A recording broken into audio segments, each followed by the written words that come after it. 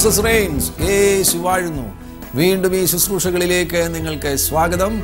അപ്പോസ്തല പ്രവൃത്തി മൂന്നാം അധ്യായം ആധാരമാക്കിയാണ് ഇന്ന് ഞാൻ നിങ്ങളോട് സംസാരിക്കുന്നത്. ഈ കഴിഞ്ഞു പോകുന്ന എപ്പിസോഡുകളിലെല്ലാം അപ്പോസ്തോല പ്രവർത്തികളിലൂടെ ഒരു ഓട്ട പ്രദക്ഷിണം നടത്തുന്നു. അപ്പോസ്തോലന്മാർ പ്രവർത്തിക്കുന്നവരായിരുന്നു. യേശുവിന്റെ ശിഷ്യന്മാർ യേശു തിരഞ്ഞെടുത്ത അപ്പോസ്തോലന്മാർ. അവർ ചരിത്രം തിരുത്തി കുറിച്ചവരാകുന്നു അവരെ കൊണ്ടാണ് കർത്താവ് ആദിമ സഭയെ സ്ഥാപിക്കുകയും ഉപയോഗിക്കുകയും ആ സഭയുടെ നടുവിൽ അവരെ ഉപയോഗിക്കുകയും ചെയ്ത ആ അപ്പോസ്തോലന്മാർ പ്രവർത്തിക്കുന്ന അപ്പോസ്തോലന്മാർ.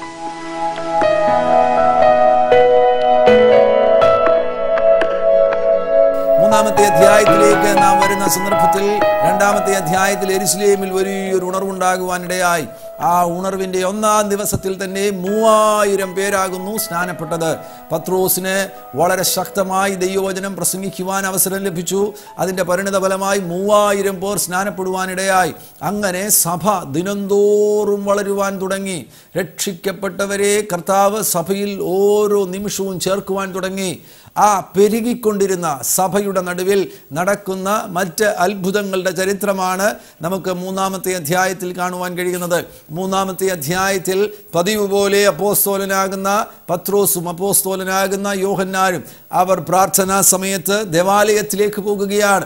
ആ സമയങ്ങളിൽ ആദിമ സഭയുടെ പ്രവർത്തനങ്ങൾ എരുസലേം ദേവാലയം എരുസലേം പട്ടണം ഇവയുമായൊക്കെ ബന്ധപ്പെട്ടിരുന്നു.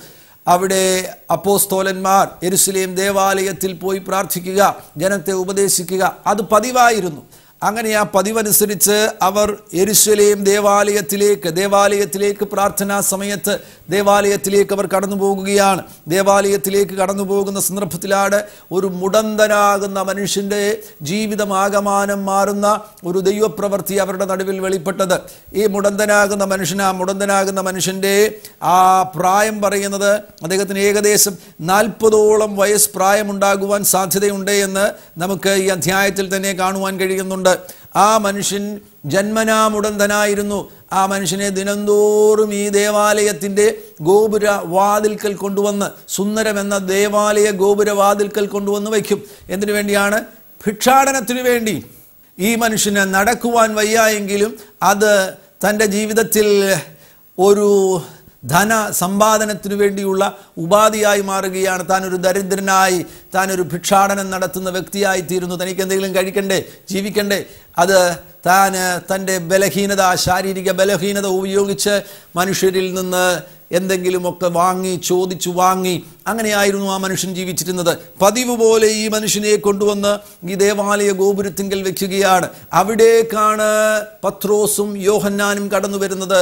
ഉണർവ് തീ കത്തി നിൽക്കുന്ന സന്ദർഭത്തിൽ ഉണർവിന്റെ ഏറ്റവും പരമോന്നതമാകുന്ന അവസ്ഥയിൽ സഭയായിരിക്കുമ്പോൾ അവരുടെ ഉള്ളത്തിൽ കത്തുന്ന ആത്മാവിന്റെ തീ എത്ര വലുതായിരിക്കും? ആ കത്തുന്ന തീയുമായിട്ടാണ് രണ്ട് അപ്പോസ്തോലന്മാർ നടന്നു വരുന്നത്. നടന്നു വരുന്ന സന്ദർഭത്തിൽ ഇതാ മുടന്തനാകുന്ന മനുഷ്യൻ ഈ അപ്പോസ്തോലന്മാരോടും പതിവ് പോലെ ഭിക്ഷ ചോദിക്കുകയാണ്. ഇവന് ഇങ്ങനെ ഭിക്ഷ ചോദിച്ച് ഭിക്ഷ ചോദിച്ച് തന്റെ ജീവിതത്തിൽ ആരെ കണ്ടു കഴിഞ്ഞാലും ഭിക്ഷ ചോദിക്കുവാൻ ഇടവരും ദൈവത്തെ കണ്ടു കഴിഞ്ഞാലും ഭിക്ഷ ചോദിക്കുവാൻ ഇടവരും ദൈവദാസന്മാരെ കണ്ടു കഴിഞ്ഞാലും ഭിക്ഷ ചോദിക്കുവാൻ ഇടവരും ചിലരുടെയൊക്കെ ജീവിത രീതി അതാണ്. അവരുടെ ജീവിതത്തിൽ ഭിക്ഷ ചോദിച്ച് യാചിച്ച് എന്തെങ്കിലും തരണമേ എന്തെങ്കിലും തരണമേ എന്ന് ചോദിച്ച് ചോദിച്ച് ആരെ കണ്ടാലും ഇതേ ചോദ്യം തന്നെയാണ് അവർ ആവർത്തിക്കുന്നത്. എന്നാൽ നിങ്ങൾക്ക് ദൈവ കുടുംബത്തിൽ മക്കളാകുവാനുള്ള വലിയ ഒരവസരമുണ്ട്. ഒരു യാചകനായി ആലയത്തിന്റെ വാതിൽക്കൽ ഇരിക്കേണ്ട കാര്യമില്ല. നിങ്ങൾക്ക് ദൈവ കുടുംബത്തിൽ പ്രവേശനം ലഭിക്കും. ആ പ്രവേശനം നിങ്ങൾക്ക് ലഭിക്കുകയാണെങ്കിൽ മക്കളായി തീരുവാൻ അവകാശികളായി തീരുവാനുള്ള ഒരു വലിയ സാധ്യതയാണ് യേശുവിന്റെ നാമത്തിൽ നമുക്ക് ലഭിക്കുന്നത്. പലരും അത് പ്രയോജനപ്പെടുത്തുന്നില്ല. ദൈവരാജ്യത്തിൽ പ്രവേശിച്ചു എന്ന് പറയുന്നവർ രക്ഷിക്കപ്പെട്ടു എന്ന് പറയുന്നവർ അവരും ഇന്ന് യാചകരെ പോലെ തുടരുകയാണ്. ഏതെങ്കിലും താൽക്കാലികമാകുന്ന ഒരു അനുഗ്രഹത്തിന് വേണ്ടി ദൈവസന്നിധിയിൽ യാചിച്ചുകൊണ്ടിരിക്കുകയാണ്. യാചനയിൽ നിന്ന് നിങ്ങൾക്ക് കൽപ്പിക്കുന്ന അവസ്ഥയിലേക്ക് മാറുവാൻ കഴിയും. നിങ്ങൾ മക്കൾ എന്ന പദവി ആ പദവി തിരിച്ചറിയുകയാണ് എങ്കിൽ നിങ്ങൾക്ക് യേശുവിന്റെ നാമത്തിൽ കൽപ്പനകളെ പുറപ്പെടുവിക്കുവാൻ കഴിയും. നിങ്ങളുടെ അധരത്തിൽ നിന്ന് പുറപ്പെടുന്ന കൽപ്പനകൾ ആ കൽപ്പനകൾ നിങ്ങളുടെ മുൻപിൽ അടഞ്ഞു കിടക്കുന്ന വാതിലുകളെ തുറക്കുവാൻ പ്രാപ്തിയുള്ള കൽപ്പനകളായി തീരും. നിങ്ങളുടെ മുൻപിൽ തളർന്നു കിടക്കുന്ന മനുഷ്യരെ സൗഖ്യമാക്കുവാൻ പ്രാപ്തിയുള്ള രോഗശാന്തിയുടെ ആയുധമായി തീരും. നിങ്ങളുടെ മുൻപിൽ വെളിപ്പെടുന്ന എല്ലാ സാമ്പത്തിക സമ്മർദ്ദങ്ങളിൽ നിന്നും നിങ്ങൾക്ക് സ്വാതന്ത്ര്യം ലഭിക്കുന്ന അത്ഭുതങ്ങളായ ആ കൽപ്പനകൾ മാറുവാൻ ആ കൽപ്പനകളെ ഉപയോഗിക്കുവാൻ നിങ്ങൾക്ക് കഴിയും. അങ്ങനെ നിങ്ങൾക്ക് ദൈവ കുടുംബത്തിൽ മക്കളെന്ന പദവിയിൽ നിന്നുകൊണ്ട് കൽപ്പിക്കുവാനുള്ള വലിയ സാധ്യതയുള്ളതിനാൽ അവകാശികളായി ദൈവിക അനുഗ്രഹങ്ങൾ സ്വന്തമാക്കുവാനുള്ള വലിയ സാധ്യതയുള്ളതിനാൽ നിങ്ങളുടെ ജീവിതം പരിശോധിച്ച് നോക്കുക. കേവലം യാചനയുടെ അവസ്ഥയിലാണ് നിങ്ങൾ തുടരുന്നത് എങ്കിൽ അവിടെ നിന്ന് പുറത്തുവാ പുറത്തുവാ അവിടെ നിന്ന് നിങ്ങൾ പുറത്തു വന്ന് നിങ്ങൾ മക്കൾ എന്ന ആ വലിയ വെളിപ്പാടിലേക്ക് നിങ്ങൾ പ്രവേശിക്കണമെന്നാണ് പരിശുദ്ധാത്മാവ് ആഗ്രഹിക്കുന്നത്. അപ്പോസ്തോലന്മാർ നടന്നു വരുന്നു. പതിവ് പോലെ ഈ മുടന്തൻ അവരോട് യാചിക്കുകയാണ്. അവരെ ഉറ്റുനോക്കി അവരോട് യാചിക്കുകയാണ്. എന്നാൽ പത്രോസും യോഹന്നാനും അവിടെ നിൽക്കുവാനിടയായി. അവനെ കണ്ടു കഴിഞ്ഞപ്പോൾ ഇവൻ യാചിച്ചു കൊണ്ടിരുന്ന സന്ദർഭത്തിൽ അവനെ കണ്ട അപ്പോസ്തോലന്മാർ അവിടെ നിന്ന് അവനെ ഉറ്റുനോക്കി. ഉറ്റുനോക്കിയിട്ട് അവർ പറയുന്നത് നിങ്ങൾ ശ്രദ്ധിക്കുക അവനാ ഇവർ ഇരുവരും ഉറ്റുനോക്കുന്നത് കണ്ടപ്പോൾ അവൻ ഉറപ്പായിട്ടും പ്രതീക്ഷിച്ചു വല്ലതും കിട്ടാൻ പോകുകയാണ് ഇപ്പോൾ വല്ലതും കിട്ടാൻ പോകുകയാണ്. ആ പ്രതീക്ഷയിലിരിക്കുമ്പോഴാണ് പത്രോസും യോഹന്നാനും അവനോട് പറയുന്നത് വെള്ളിയും പൊന്നും എനിക്കില്ല. പത്രോസ് പറയുന്നു വെള്ളിയും പൊന്നും എനിക്കില്ല. ഏകവചനത്തിലാണ് അവിടെ പറയുന്നത് യോഹന്നാനെ കൂടെ ഉൾപ്പെടുത്തുന്നില്ല വെള്ളിയും പൊന്നും എനിക്കില്ല എനിക്കുള്ളത് നിനക്ക് തരുന്നു. നസ്രയനായ യേശു ക്രിസ്തുവിന്റെ നാമത്തിൽ നടക്ക എന്ന് പറഞ്ഞ് അവനെ വലം കൈക്ക് പിടിച്ച് എഴുന്നേൽപ്പിച്ചു. വെള്ളിയും പൊന്നും എനിക്കില്ല. അന്നത്തെ നാണ്യ വ്യവസ്ഥയിൽ അന്നത്തെ പണമായി ഉപയോഗിച്ചു കൊണ്ടിരുന്ന വെള്ളി കൊണ്ടുള്ള കോയിനോ സ്വർണം കൊണ്ടുള്ള കോയിനോ ഇതൊന്നും പത്രോസിന്റെ കയ്യിലില്ല. പത്രോസോ യോഹന്നാനോ ആ നിലയിൽ വലിയ ധനികരായിട്ടുള്ള വ്യക്തികൾ അപ്പോൾ അല്ല എന്ന് നമുക്ക് മനസ്സിലാക്കുവാൻ കഴിയുന്നു. എന്നാൽ അവരുടെ പഴയ ചരിത്രം എടുക്കുകയാണെങ്കിൽ അവർ ബിസിനസ്സുകാരായിരുന്നു വ്യാപാരികളായിരുന്നു. അവർ മത്സ്യ ബിസിനസ് നടത്തി വരുന്നവരാണ്. ഗലീലയിലായിരുന്ന സന്ദർഭത്തിൽ അവർക്ക് സ്വന്തമായി വള്ളമുണ്ടായിരുന്നു വലയുണ്ടായിരുന്നു. അവരുടെ പശ്ചാത്തലം പഠിക്കുകയാണെങ്കിൽ അവർ വിജയികളായിരുന്ന വ്യാപാരികളായിരുന്നു ബിസിനസ്സുകാരായിരുന്നു. ആ ബിസിനസ്സിൽ നിശ്ചയമായിട്ടും സ്വന്തമായിട്ട് ആ കാലഘട്ടത്തിൽ വള്ളമുള്ളവർ സ്വന്തമായി വലയുള്ളവർ ഒന്നിലധികം പടകുള്ളവർ ഒരു സാധാരണ ബിസിനസ്സുകാരല്ല സമ്പന്നരാകുന്ന ബിസിനസ്സുകാരാണ്. അതെല്ലാം ഉപേക്ഷിച്ചിട്ടാണ് അവർ യേശുവിനെ അനുഗമിച്ചത്. പിന്നിലേക്ക് തിരിഞ്ഞു നോക്കാതെ യേശുവിനെ അവർ കണ്ടുമുട്ടിയപ്പോൾ തങ്ങൾക്കുള്ളതെല്ലാം പിന്നിൽ തള്ളിക്കളഞ്ഞിട്ട് ഉപേക്ഷിച്ചിട്ട് അവർ യേശുവിനെ അനുഗമിക്കുവാനിടയായി.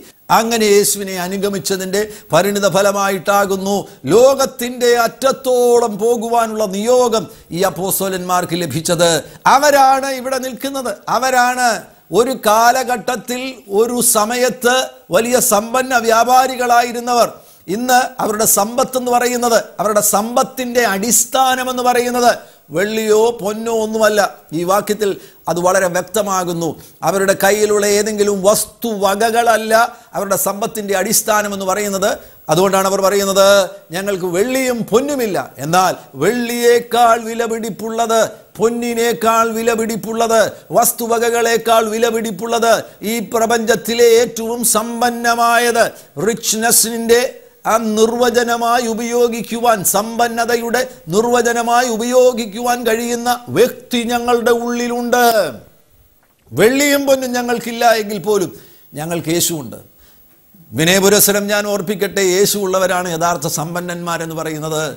നിങ്ങൾക്ക് ചിലപ്പോൾ വെള്ളി കാണില്ല പൊന്ന് കാണില്ല സമ്പത്തിന്റെ വലിയ നീണ്ട ലിസ്റ്റ് നിങ്ങൾക്ക് എഴുതുവാൻ കാണുകയില്ല. സ്വന്തമായി ചിലപ്പോൾ നിങ്ങൾക്ക് വീടോ ഭൗതിക നന്മകളോ അധികം കാണുകയില്ല. ഇതൊന്നുമില്ലാതെ നിങ്ങൾക്ക് ചിലപ്പോൾ വാടക വീടുകളിൽ ജീവിക്കുന്നവരായിരിക്കും നിങ്ങൾ. യേശു ഉണ്ടോ? യേശു ഉണ്ടെങ്കിൽ നിങ്ങളാണ് യഥാർത്ഥ സമ്പന്നൻ എന്ന് പറയുന്നത്.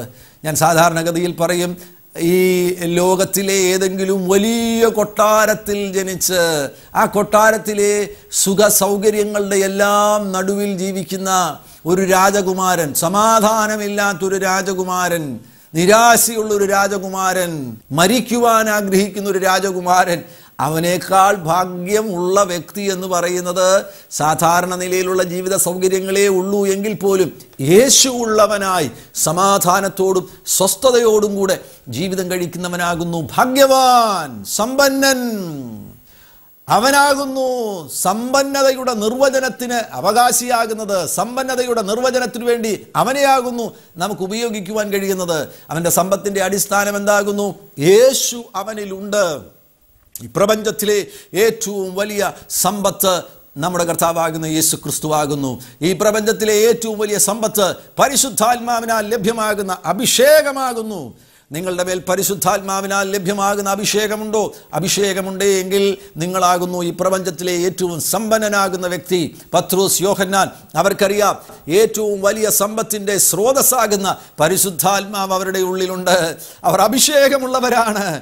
അതാണ് അവർ ധൈര്യത്തോടുകൂടെ പറയുന്നത്. വെള്ളിയില്ല പൊന്നില്ല പക്ഷേ ഞങ്ങൾക്ക് ചിലത് നിനക്ക് തരുവാനുണ്ട്. സുവിശേഷങ്ങളിൽ ഒരിക്കൽ യേശുവിനെ പത്രോസ് അനുഗമിക്കുന്നതിന്റെ ഇടയിൽ പത്രോസ് യേശുവിനോട് ചോദിച്ചു അങ്ങയെ ഞങ്ങൾ അനുഗമിച്ചു. ഞങ്ങളെല്ലാം വിട്ട് അങ്ങയെ അനുഗമിക്കുവാനിടയായി. ഞങ്ങൾക്ക് എന്തു കിട്ടുമെന്ന് ചോദിക്കുവാനിടയായി. സുവിശേഷത്തിൽ ആ സമയത്ത് യേശുവിനെ അനുഗമിക്കുന്ന ആ പ്രാരംഭ നാളുകളിൽ പത്രോസിന് അത്രമാത്രമേ വെളിപ്പാടുണ്ടായിരുന്നുള്ളൂ. അതുകൊണ്ട് കൈമലർത്തി എന്ത് കിട്ടുമെന്ന് ചോദിക്കുവാനിടയായി. അതേ പത്രോസാണ് ഇപ്പോൾ അപ്പോസ്തോല പ്രവൃത്തി മൂന്നാമത്തെ അധ്യായത്തിൽ പറയുന്നത് ഞങ്ങൾക്ക് ചിലതുണ്ട്. സമൂഹത്തിന് കൊടുക്കുവാൻ ചിലതുണ്ട്. ഞങ്ങൾക്ക് ഈ തലമുറയ്ക്ക് സംഭാവന ചെയ്യുവാൻ ചിലതുണ്ട്. ചില വീടുകളിൽ ഞങ്ങൾക്ക് സംഭാവന ചെയ്യുവാൻ ചിലത് കോൺട്രിബ്യൂട്ട് ചെയ്യുവാൻ ഞങ്ങളുടെ പക്കൽ ചിലതുണ്ട്. ഞങ്ങൾക്ക് എന്തു കിട്ടുമെന്ന് ചോദിച്ച അപ്പോസ്തോലൻ ഇപ്പോൾ കൊടുക്കുന്നവനായി തീരുകയാണ്. കൊടുക്കുന്നത് ഈ ലോകത്തിലെ എന്തെങ്കിലും കാര്യമല്ല കൊടുക്കുന്നത്. സ്വർഗീയമാകുന്ന കാര്യങ്ങൾ കൊടുക്കുന്നവർ അഭിഷക്തനായിട്ട് പത്രോസ് മാറുകയാണ്. എത്ര ധൈര്യത്തോടു കൂടിയാണ് പത്രോസ് പറയുന്നത്. വെള്ളിയും പൊന്നും ഒന്നും ഇല്ലെങ്കിൽ പോലും ഞങ്ങൾക്ക് ചിലതുണ്ട്. അത് ഞാൻ നിനക്ക് തരുവാൻ പോകുകയാണ്. നിങ്ങൾ അഭിഷേകമുള്ള വ്യക്തിയാകുന്നുവോ? നിങ്ങൾ അഭിഷേകം പരിശുദ്ധാത്മാവിന്റെ അഭിഷേകമുള്ള വ്യക്തിയാകുന്നുവെങ്കിൽ യേശുള്ള വ്യക്തിയാകുന്നുവെങ്കിൽ നിങ്ങൾക്ക് ഈ സമൂഹത്തിന് കൊടുക്കുവാൻ ചിലതുണ്ട്. അത് വെച്ചുകൊണ്ടിരിക്കരുത്. ഇറങ്ങിപ്പുറപ്പെടണം. ചില ഭവനങ്ങൾക്ക് ചിലത് കൊടുക്കുവാനുണ്ട്. വഴിതെറ്റി നടക്കുന്ന തലമുറകൾക്ക് ചിലത് നിങ്ങളുടെ പക്കൽ നിന്ന് സംഭാവനയായി കൊടുക്കുവാനുണ്ട്. ലോകത്തിലെങ്ങും ലഭിക്കാത്തത് സ്വർഗീയമായത് സംഭാവന ചെയ്യുന്നവരായി കർത്താവ് നിങ്ങളെ തീർക്കുവാൻ ആഗ്രഹിക്കുകയാണ്. അങ്ങനെ ഒരു അഭിഷേകത്തിന്റെ സ്പർശനം നിങ്ങൾ ആഗ്രഹിക്കുന്നുവെങ്കിൽ ഞാൻ വിശ്വസിക്കുന്നത് ഈ പ്രഭാഷണം കേട്ടുകൊണ്ടിരിക്കുമ്പോൾ തന്നെ പരിശുദ്ധാത്മാവ് നിങ്ങളെ തൊടുവാനിട വരും രാജസ്ഥാൻ എന്ന് പറയുന്ന സംസ്ഥാനത്തിന് നീ ചിലത് സംഭാവന ചെയ്യുവാൻ പോകുന്നു. ഡൽഹി പട്ടണത്തിന് നീ ചിലത് സംഭാവന ചെയ്യുവാൻ പോകുകയാണ്. ലോകരാജ്യങ്ങൾക്ക് നീ ചിലത് സംഭാവന ചെയ്യുവാൻ പോകുന്നു. നിന്നിൽ നിറഞ്ഞു നിൽക്കുന്ന ഈ അഭിഷേകം പുറത്തോട്ട് ഒഴുകുവാൻ പോകുകയാണ്. വെള്ളിയും പൊന്നും നിനക്ക് കാണുകയില്ല. എന്നാൽ നിനക്ക് ചിലതുണ്ട്. മറ്റാരുടെയും പക്കലില്ലാത്തത് ചിലത് നിന്റെ പക്കലുണ്ട്. മറ്റാർക്കും ലഭിച്ചിട്ടില്ലാത്ത ചില വെളിപ്പാടുകൾ നിനക്കുണ്ട്. നിന്റെ പക്കൽ പരിശുദ്ധാത്മാവിനാൽ ലഭ്യമാകുന്ന വിലപിടിപ്പുള്ള അഭിഷേകമുണ്ട്. നിന്റെ പക്കൽ പരിശുദ്ധാത്മാവിനാൽ ലഭ്യമാകുന്ന വിലപിടിപ്പുള്ള കൃപാദാനങ്ങൾ ഉണ്ട് അത് കൊടുക്കുന്നവരായി തീരുക. പത്രോസ് യോഹന്നാൻ അവർ ഈ മുടന്തനോട് പറയുകയാണ് ഞങ്ങൾക്കുള്ളത് ഞങ്ങൾ നിനക്ക് തരികയാണ് എനിക്കുള്ളത് നിനക്ക് തരുന്നു. നസ്രയനാകുന്ന യേശു ക്രിസ്തുവിന്റെ നാമത്തിൽ നടക്ക എന്ന് പറഞ്ഞ് അവന്റെ വലം കൈക്ക് പിടിച്ച് എഴുന്നേൽപ്പിച്ചു. എത്ര വർഷമായിട്ട് ഇവൻ നടന്നിട്ടില്ലാത്തവനാണ്. അമ്മയുടെ ഉദരം മുതൽ ഈ നാൾ വരെയും അവൻ ഇരിക്കുന്നവൻ മാത്രമാകുന്നു. അവന് നടപ്പിനെക്കുറിച്ച് അറിയില്ല. അവൻ നടക്കുന്നവരെ കാണുമ്പോൾ അവൻ അത്ഭുതപ്പെടും. എങ്ങനെയാണ് ഈ മനുഷ്യർ നടക്കുന്നത്? നടക്കാത്ത ഒരിക്കലും നടക്കാത്തൊരു മൃഗത്തെ പോലെ അവന് ആ ദേവാലയ ഗോപുര വാതിൽക്കൽ ഇരുന്നു കൊണ്ട് ഭിക്ഷയാചിക്കുന്നവനാണ്. നീണ്ട നാളുകൾ. ഈ ദേവാലയ ഗോപുര വാതിലിന്റെ പേര് സുന്ദരമെന്നാണ്. ഈ സുന്ദരമെന്ന് പേരുള്ള ഇടത്ത് അത്ര സുന്ദരമല്ലാത്തൊരു കാര്യം നടന്നുകൊണ്ടിരിക്കുകയാണ്. ഒരിക്കൽ പോലും നടന്നിട്ടില്ലാത്ത മനുഷ്യൻ. നടക്കുക എന്നത് എങ്ങനെയാണെന്ന് അറിയാത്ത മനുഷ്യൻ. നടക്കുവാൻ ഒരിക്കലും കഴിയുമെന്ന് ചിന്തിച്ചിട്ടില്ലാത്ത മനുഷ്യൻ സ്വപ്നം പോലും കണ്ടിട്ടില്ല. ഇനിയും തന്റെ ജീവിതത്തിൽ ഇങ്ങനെ തന്നെ താൻ ജീവിതം അവസാനിപ്പിക്കുവാൻ ഇരിക്കുമ്പോഴാണ് ഇതാ പരിശുദ്ധാത്മാവിന്റെ ഒരു ഇടപെടൽ ഉണ്ടാകുന്നത് യേശുവിന്റെ ഒരു ഇടപെടൽ ഉണ്ടാകുന്നത് നിങ്ങൾ ഈ നിലയിൽ തകരുവാൻ പോകുന്നില്ല. നിങ്ങൾ കരുതുമായിരിക്കും എന്റെ ജീവിതം ഇങ്ങനെ തകർന്നു പോകുമെന്ന്. ഇല്ല പരിശുദ്ധാത്മാവ് നിങ്ങളുടെ ഇടയിലേക്ക് കയറി വരുവാൻ പോകുകയാണ്. ആ തകർച്ച സംഭവിക്കുന്നതിന് മുന്നമേ ഒരു ഇന്ററപ്ഷൻ നടക്കുവാൻ പോകുകയാണ്. പിശാജ് നിങ്ങളുടെ ജീവിതത്തെ തകർക്കുവാൻ നിങ്ങളുടെ കുടുംബത്തെ തകർക്കുവാൻ നിങ്ങളുടെ ഭാവിയെ തകർക്കുവാൻ നിങ്ങളുടെ ജോലിയെ തകർക്കുവാൻ നിങ്ങളുടെ കുടുംബജീവിതത്തെ തകർക്കുവാൻ അവൻ ഒരുമ്പെട്ട് വരുമ്പോൾ അവൻ ചതിക്കുവാൻ ശ്രമിക്കുമ്പോൾ അവൻ തന്ത്രങ്ങൾ മെനയുമ്പോൾ അതിന്റെ നടുവിൽ പരിശുദ്ധാത്മാവ് കയറി ഇടപെടുവാൻ പോകുകയാണ്. യേശു കയറി ഇടപെടുവാൻ പോകുകയാണ്. അങ്ങനെ ഇടപെട്ട് കഴിഞ്ഞാൽ നീ ആ ഇരിപ്പിൽ നിന്ന് എഴുന്നേൽക്കുവാനിടവരും ആ തകർച്ചയിൽ നിന്ന് നീ ഉയർച്ച പ്രാപിക്കുവാനിടവരും ആ ബന്ധനങ്ങളിൽ നിന്ന് നീ സ്വാതന്ത്ര്യം പ്രാപിക്കുവാനിടവരും. ഇവന്റെ ജീവിതത്തിലും അത് തന്നെയാണ് സംഭവിച്ചത്. യേശുവിന്റെ ഒരു അത്ഭുത ഇടപെടൽ അപ്പോസ്തോലന്മാരിലൂടെ സംഭവിക്കുകയാണ്. അപ്പോസ്തോലന്മാരിലൂടെ അത്ഭുത ഇടപെടൽ നടന്നു കഴിഞ്ഞപ്പോൾ അവർ തന്നെ അവന്റെ വലങ്കൈക്ക് പിടിച്ച് എഴുന്നേൽപ്പിച്ചു. നോക്കുക അവരുടെ അധരത്തിൽ നിന്ന് കൽപ്പന പുറപ്പെട്ടു. യേശുവിൻ അധികാരമുള്ള നാമത്തിൽ എഴുന്നേൽക്കുക. ആ കൽപ്പന മാത്രമല്ല പുറപ്പെട്ടത്. ആ കൽപ്പനയെ നടപ്പിലാക്കുന്ന ഒരു പ്രവൃത്തിയും പുറപ്പെടുകയാണ്. കൈക്ക് പിടിച്ച് എഴുന്നേൽപ്പിച്ചു. ഇതാ മുടന്തൻ ഒരിക്കലും നടന്നിട്ടില്ലാത്ത മുടന്തൻ. അവൻ കാൽ ഊന്നി കാലും നരയാണിയും ഉറച്ചു ക്ഷണത്തിൽ. ഇത് പെടുന്നനവേ സംഭവിക്കുകയാണ് പെട്ടെന്ന് സംഭവിക്കുകയാണ്. ഈ അപ്പോസോല പ്രവൃത്തി പല കാര്യങ്ങളും പെട്ടെന്ന് സംഭവിക്കുന്നുണ്ട്.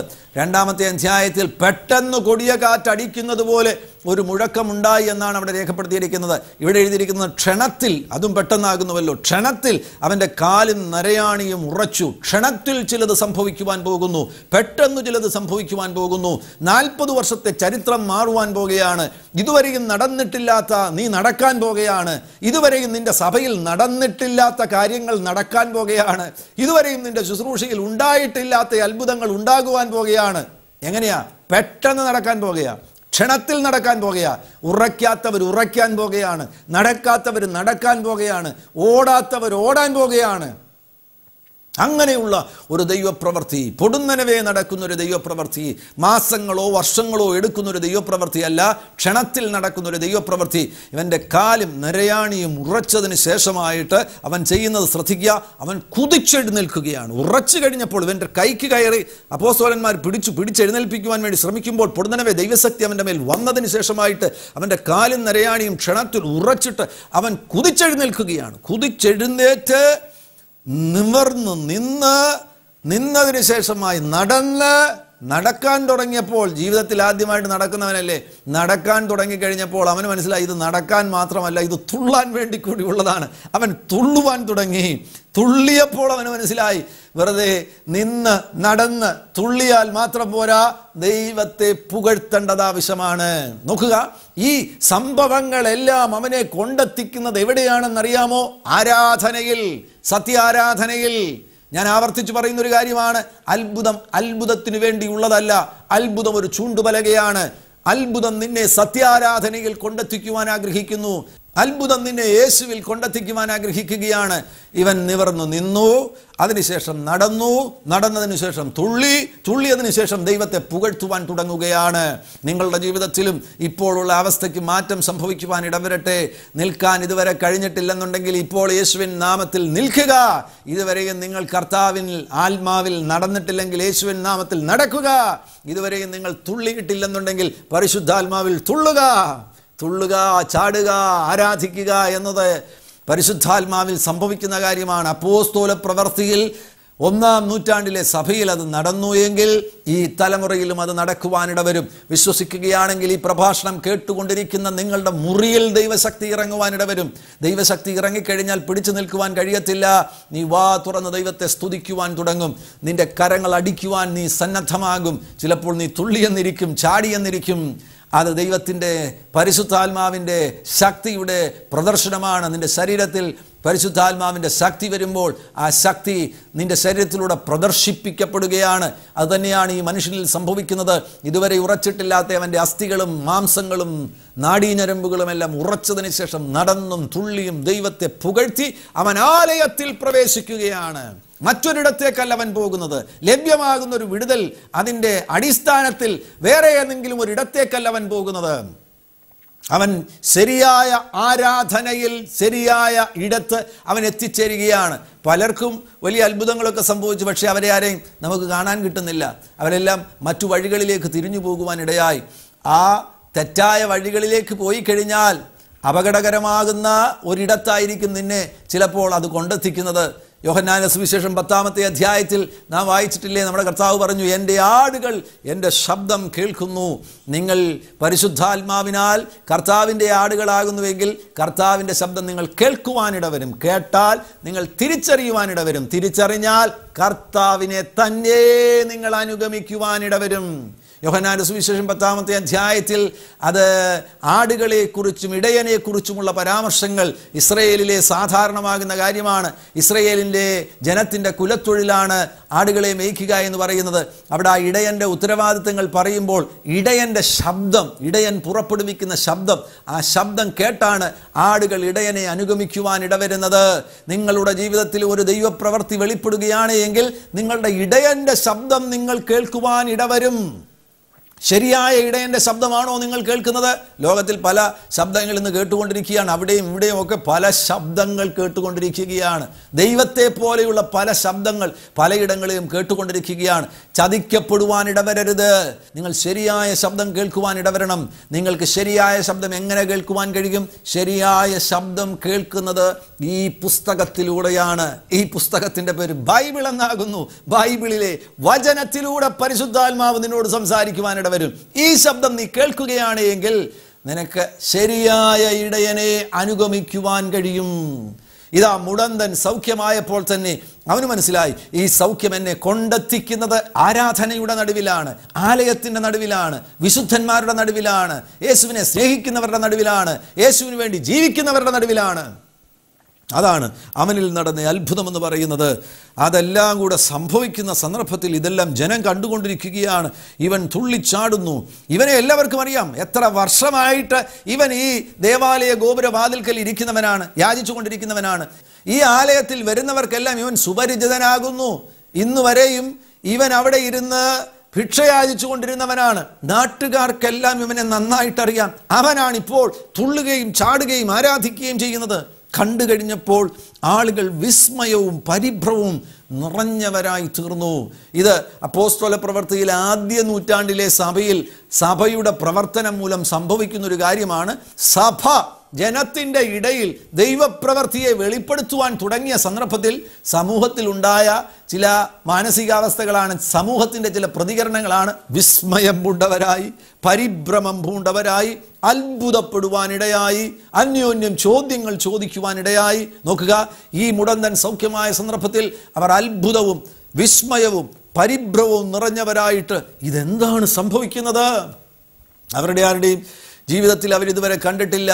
ഇതാ യേശുവിന്റെ ശുശ്രൂഷയ്ക്ക് ശേഷമായിട്ട് ഒരു പുതിയ കാലഘട്ടം അപ്പോസ്തോലന്മാരുടെ കാലഘട്ടം അപ്പോസ്തോലന്മാരുടെ കാലഘട്ടം അപ്പോസ്തോല പ്രവൃത്തിയിൽ ആരംഭിച്ചുവെങ്കിലും വിനയപുരസരം ഞാൻ നിങ്ങളെ ഓർപ്പിക്കട്ടെ ഇന്നും അത് തുടർന്നു കൊണ്ടിരിക്കുകയാണ് അപ്പോസ്തോലന്മാരുടെ പ്രവർത്തികൾ ഇന്നും തുടർന്നു കൊണ്ടിരിക്കുകയാണ് ഇന്നും മുടന്തൻ യേശുവിൻ നാമത്തിൽ സൗഖ്യമാകുന്നു. ഇന്നും കുരുടൻ യേശുവിൻ നാമത്തിൽ കാഴ്ച പ്രാപിക്കുന്നു. അപ്പോസ്തോല പ്രവൃത്തി തീർന്നിട്ടില്ല. അപ്പോസ്തോല പ്രവൃത്തി തുടർന്നു കൊണ്ടിരിക്കുകയാണ്. ഇവരെല്ലാം ആലയത്തിൽ ഓടിക്കൂടി. ഈ മനുഷ്യന്റെ സൗഖ്യം കണ്ടു കഴിഞ്ഞപ്പോൾ എല്ലാവരും ശലോമോൻ എന്നു പേരുള്ള മണ്ഡപത്തിൽ അവരുടെ അടുക്കൽ ഓടിക്കൂടി. അപ്പോസ്തോലന്മാരാകുന്ന പത്രോസിന്റെയും യോഹന്നാന്റെയും അടുക്കൽ ഓടിക്കൂടുവാനിടയായി. ഓടിക്കൂടി ഇവരെല്ലാം വിസ്മയം പൂണ്ട് പരിഭ്രമം നിറഞ്ഞവരായി അത്ഭുത പരതന്ത്രരായി തീർന്നിരിക്കുന്നു എന്ന് അപ്പോസ്വലന്മാർ കണ്ടു കഴിഞ്ഞപ്പോൾ ആ സന്ദർഭവും അവർ പ്രയോജനപ്പെടുത്തി. എന്തിനു വേണ്ടി? ദൈവത്തിന്റെ വചനം പ്രഘോഷിക്കുവാൻ വേണ്ടി. അവർ വാ തുറന്ന് ദൈവത്തിന്റെ വചനം പ്രഘോഷിക്കുവാൻ തുടങ്ങി. നിങ്ങൾ കരുതുന്നത് പോലെ ഞങ്ങളുടെ സ്വന്തം ശക്തി കൊണ്ടല്ല ഇത് സംഭവിച്ചിരിക്കുന്നത്. ഇപ്പോൾ പത്രോസിനും യോഹന്നാനും വേണമെങ്കിൽ ഈ അത്ഭുതത്തിന്റെ പേര് പറഞ്ഞുകൊണ്ട് വലിയവരാകുവാൻ അവർക്ക് വേണമെങ്കിൽ ഈ അത്ഭുതത്തെ ഉപയോഗിക്കുവാൻ കഴിയും. പേരെടുക്കുവാൻ ഈ അത്ഭുതത്തെ ഉപയോഗിക്കുവാൻ കഴിയും. എന്നാൽ അവരതിന് തയ്യാറാകാതെ സത്യം അവരോട് വിളിച്ചു പറയുകയാണ് നിങ്ങൾ എന്തിനാണ് ഞങ്ങളെ നോക്കുന്നത്? ഇത് ഞങ്ങളുടെ സ്വന്തം ശക്തി കൊണ്ടോ സ്വന്തം കഴിവ് കൊണ്ടോ ചെയ്തു എന്നതുപോലെ നിങ്ങളെ നോക്കുന്നത് എന്തിനാണ്? ഞങ്ങളാൽ അല്ല ഇത് സംഭവിച്ചിരിക്കുന്നത്. ഞങ്ങളുടെ സ്വന്തം ശക്തിയോ ഞങ്ങളുടെ സ്വന്തം കഴിവ് കൊണ്ടോ ഒന്നും അല്ല ഇത് സംഭവിച്ചിരിക്കുന്നത്. ഇത് നടന്നിരിക്കുന്നത് യേശുവിന്റെ നാമത്തിന്റെ ശക്തിയാണ്. നീ ഒരു സാധാരണ മനുഷ്യനായിരിക്കാം. എന്നാൽ നീ യേശുവിൽ വിശ്വസിക്കുന്ന ഒരു വ്യക്തിയാകുന്നു എങ്കിൽ നിന്റെ അധരം തുറന്ന് യേശുവിന്റെ നാമം എടുക്കുകയാണെങ്കിൽ ഈ പ്രപഞ്ചത്തിലേറ്റവും ശക്തിയേറിയ നാമം യേശുവിന്റെ നാമമാകുന്നു. ആ നാമം നീ അധരത്തിൽ എടുത്തു കഴിഞ്ഞാൽ ഈ അധ്യായം നിന്റെ ജീവിതത്തിൽ ആവർത്തിക്കാൻ പോകുകയാണ്.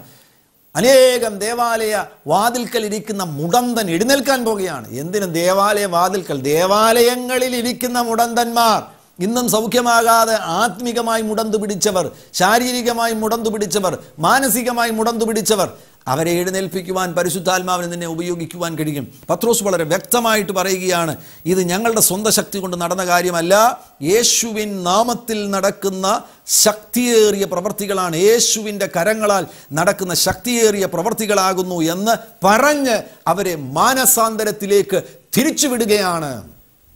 നിങ്ങൾ സന്നദ്ധമാകുമോ? നിങ്ങളുടെ മുന്നിൽ അവസരങ്ങളുടെ വാതിലുകൾ കർത്താവ് തുറക്കുവാൻ പോകുകയാണ്. യേശുവിന്റെ നാമം നിങ്ങൾ അധരത്തിലെടുക്കുകയാണ് എടുക്കുകയാണെങ്കിൽ ആ നാമത്തിൽ മുടന്തൻ നടക്കാൻ പോകുകയാണ്. ആ അത്ഭുതങ്ങൾ നടക്കുമ്പോൾ മനുഷ്യരെ ദൈവത്തിലേക്ക് തിരിക്കുവാൻ മാനസാന്തരത്തിലേക്ക് തിരിക്കുവാൻ നിങ്ങൾക്ക് ലഭ്യമാകുന്ന അവസരം നിങ്ങൾ ഉപയോഗിക്കുകയാണ് എങ്കിൽ കർത്താവ് നിങ്ങളിലൂടെ പ്രവർത്തിക്കുവാൻ പോകുന്നു. മൂന്നാമത്തെ അധ്യായം മുടന്തന്റെ സൗഖ്യം നടന്ന അധ്യായം. ആ അധ്യായത്തിലും ഇതാ രണ്ടാം അധ്യായത്തിൽ ശക്തമായി ദൈവവചനം പ്രഘോഷിച്ച പത്രോസ് വീണ്ടും ശലോമോൻ എന്നു പേരുള്ള മണ്ഡപത്തിന്റെ അരികിൽ വീണ്ടും ദൈവത്തിന്റെ വചനം പ്രഘോഷിക്കുവാൻ അദ്ദേഹത്തിന് അവസരം ലഭിക്കുകയാണ്. ശക്തമായിട്ട് അദ്ദേഹം വചനം പ്രസംഗിച്ച് വളരെ വ്യക്തമായി തെളിവ് കൊടുക്കുകയാണ്. യേശു ജീവിച്ചിരിക്കുന്നു. യേശുവിന്റെ നാമത്തിൽ ഇതേ പ്രവർത്തികൾ ആവർത്തിക്കുവാൻ ഇടവരും.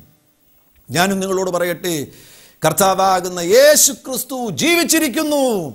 യേശുവിന്റെ നാമത്തിൽ അപ്പോസ്തോല പ്രവൃത്തി മൂന്നാം അധ്യായം നിങ്ങളുടെ ജീവിതത്തിൽ ആവർത്തിക്കുവാൻ ഇടവരും. നിങ്ങൾ വിശ്വസിക്കുവാൻ തയ്യാറെടുക്കുമോ? വിശ്വസിക്കുവാൻ നിങ്ങളുടെ ഹൃദയങ്ങളെ തുറക്കുമോ? തുറക്കുകയാണ് എങ്കിൽ കർത്താവ് നിങ്ങളെ സ്പർശിക്കുവാൻ പോകുകയാണ്. ഞാൻ നിങ്ങൾക്ക് വേണ്ടി പ്രാർത്ഥിക്കുവാൻ പോകുന്നു. കർത്താവിന്റെ അത്ഭുതകരം നിങ്ങളെ ഇപ്പോൾ തന്നെ സ്പർശിക്കുവാൻ പോകുന്നു. ഞാൻ വിശ്വസിക്കുന്നത് ഒരു വലിയ അഭിഷേകത്തിന്റെ പകർച്ച നിങ്ങളിൽ സംഭവിക്കുവാൻ പോകുകയാണ്. നിങ്ങളിൽ ആരെങ്കിലും ദൈവോചനം പ്രസംഗിക്കുന്ന ദൈവദാസന്മാരുണ്ടെങ്കിൽ ഈ നിമിഷത്തിൽ തന്നെ നിങ്ങളുടെ ശുശ്രൂഷയിൽ ഒരു പകർച്ച സംഭവിക്കുവാൻ പോകുകയാണ്. പരിശുദ്ധാത്മാവിന്റെ ഒരു സ്പർശനം സംഭവിക്കുവാൻ പോകുകയാണ്. ഇരു കരങ്ങളും ഈ സ്ക്രീനിലേക്ക് നീട്ടി നിങ്ങൾ ഇപ്പോൾ ഈ പ്രാർത്ഥനയിൽ എന്നോട് യോജിക്കുക. അത്ഭുതകരമാകുന്ന ഒരു പരിശുദ്ധാത്മ സ്പർശനം നിങ്ങളുടെ മേൽ വരുവാൻ പോകുന്നു. പരിശുദ്ധ പിതാവേ യേശുവിൻ നാമത്തിൽ അങ്ങയുടെ പ്രിയപ്പെട്ടവർക്ക് വേണ്ടി പ്രാർത്ഥിക്കുകയാണ്. ഇവർ വളരെ വിലപിടിപ്പുള്ളവരാകുന്നുവല്ലോ. ദൈവരാജ്യത്തിൽ വളരെ പ്രയോജനപ്പെടേണ്ടവരാകുന്നുവല്ലോ. അപ്പോസ്തോല പ്രവർത്തികൾ ഇവരുടെ ജീവിതത്തിൽ ആവർത്തിക്കുവാൻ ഇടവരട്ടെ യേശുവുമായി വ്യക്തിപരമാകുന്ന ബന്ധമില്ലാത്ത ആരെങ്കിലും ഈ ശബ്ദം കേൾക്കുന്നുണ്ടെങ്കിൽ ഇപ്പോൾ അവർ യേശുവിനെ സ്വീകരിക്കുവാൻ ഇടവരട്ടെ നിങ്ങൾ യേശുവിനെ സ്വീകരിക്കുവാൻ ആഗ്രഹിക്കുന്നുവെങ്കിൽ വാതുറന്ന് യേശുവേ എന്റെ ഹൃദയത്തിലേക്ക് വരണമേ എന്ന് ഇപ്പോൾ പറയുക. അങ്ങനെ പറയുന്നവരെ പരിശുദ്ധാത്മാവെ തൊടണമേ അവരുടെ ആത്മാവിന് ജീവൻ കൊടുക്കണമേ എന്നടിയൻ പ്രാർത്ഥിക്കുന്നു. ഈ നിമിഷത്തിൽ തന്നെ രോഗികൾ സൗഖ്യമാകട്ടെ മുടന്തന്മാർ ചാടി എഴുന്നേൽക്കട്ടെ. യേശുവിൻ അധികാരമുള്ള നാമത്തിൽ കഴുത്തിന്റെ ഭാഗത്തുള്ള രോഗബന്ധനങ്ങൾ ഇപ്പോൾ അഴിയട്ടെ അഴിയട്ടെ അഴിയട്ടെ അഴിയട്ടെ. സ്പൈനൽ കോഡിൽ വ്യാപരിച്ചിരിക്കുന്ന രോഗബന്ധനങ്ങൾ അഴിയട്ടെ. ഏതോ ഒരു ദുഷ്ടശക്തി ആ സ്പൈനൽ കോഡിൽ നിന്ന് ഇറങ്ങിപ്പോകുന്നത് ആത്മാവിൽ ഞാൻ കാണുകയാണ്. വളരെ വ്യക്തമാകുന്ന സൗഖ്യങ്ങൾ ഇപ്പോൾ നടക്കുന്നുവല്ലോ. തലച്ചോറിന് വന്നിരിക്കുന്ന കേടുകൾ ഇപ്പോൾ യേശുവിൻ നാമത്തിൽ സൗഖ്യമാകുന്നു.